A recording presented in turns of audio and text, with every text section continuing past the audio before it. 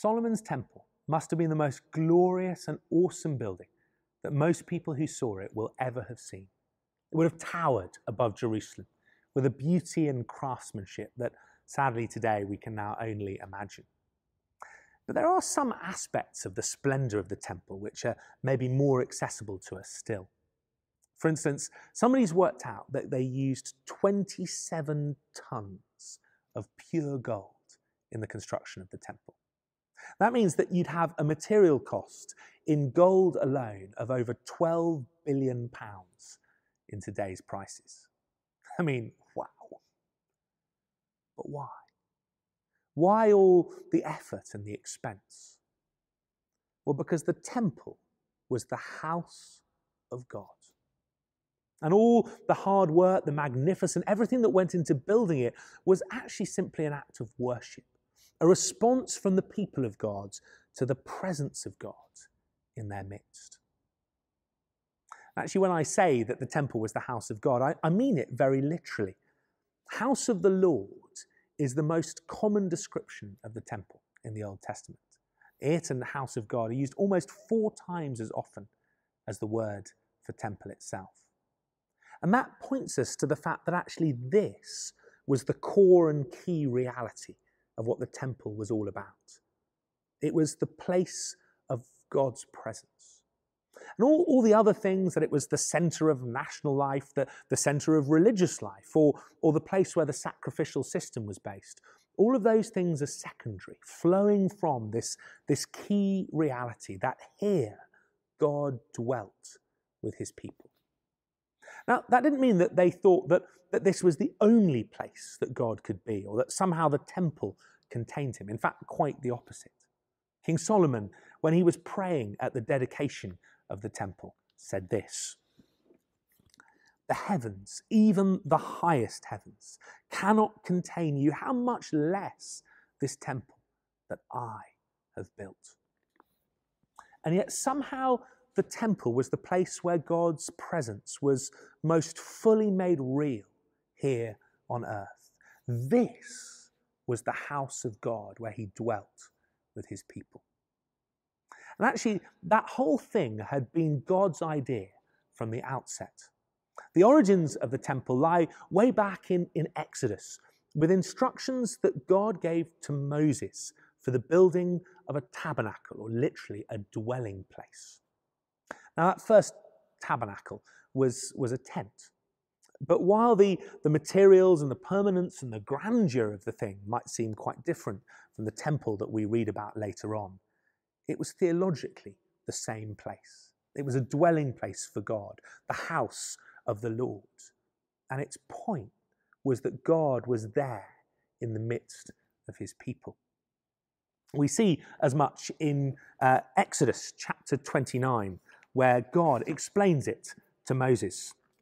He says, I will consecrate the tent of meeting and the altar, and will consecrate Aaron and his sons to serve me as priests. Then I will dwell among the Israelites and be their God. They will know that I am the Lord their God, who brought them out of Egypt, so that I might dwell amongst them.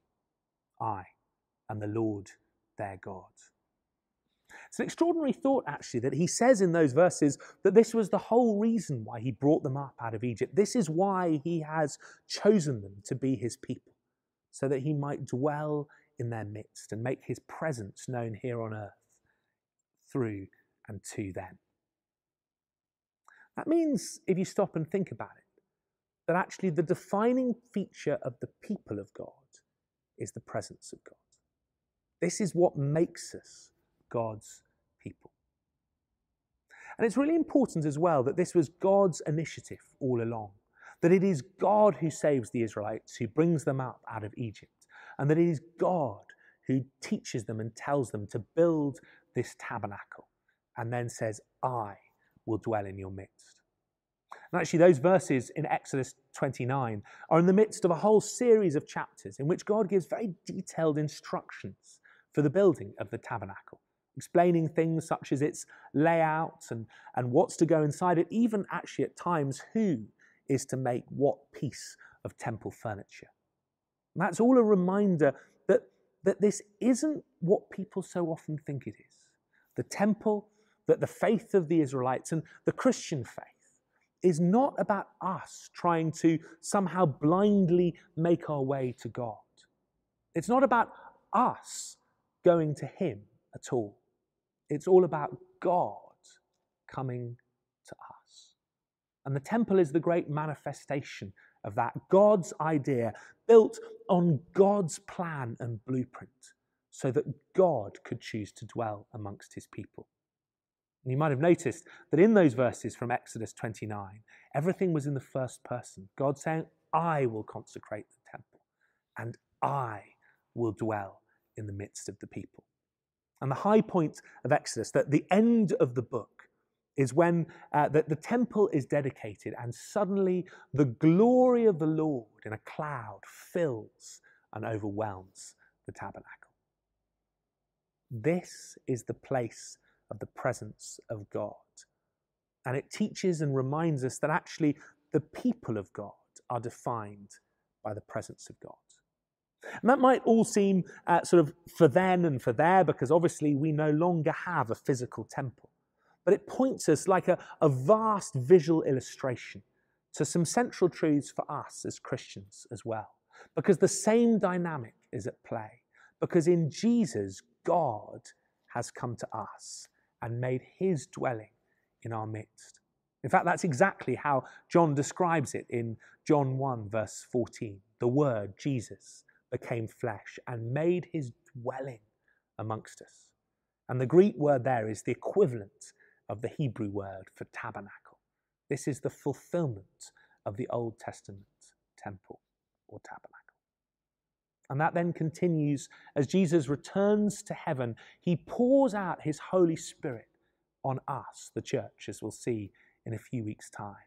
And we can know and experience God's presence with us. Not because of anything we've done to achieve it, but because God has come to us. And so, as I finish this first part on the temple, I want to pray that God would do that for you and for me, that He would come by His Holy Spirit and fill us afresh. So, Lord God, we, we thank you for this amazing gift and promise of your presence with us. And so we respond by saying, Yes, please. Come, Holy Spirit. Come, Holy Spirit, we pray. Amen.